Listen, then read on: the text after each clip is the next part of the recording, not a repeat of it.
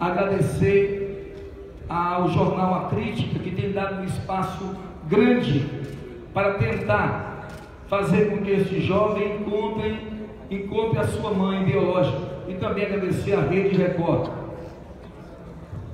Esse jovem, através de um frade holandês, já falecido, chamado Francisco Bauman, que quando fez essa adoção, não deu informação sobre a mãe biológica.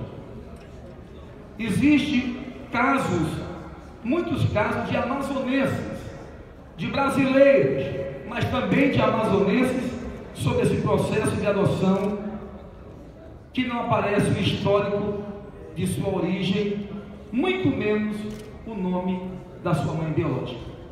Temos esse caso do jovem Alfredo, temos o caso também de gêmeas que foram roubadas na Paraíba, os pais adotivos foram enganados por uma agência de adoção oficializada na Holanda com o Brasil, cuja agência já foi fechada pela Justiça do Brasil.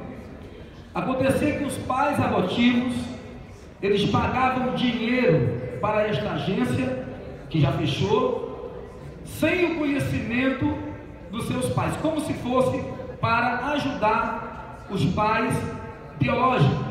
Os pais adotivos pagavam e essa agência nunca ajudava os pais biológicos e por isso não davam é, o contato do pai biológico para aqueles que estavam adotando.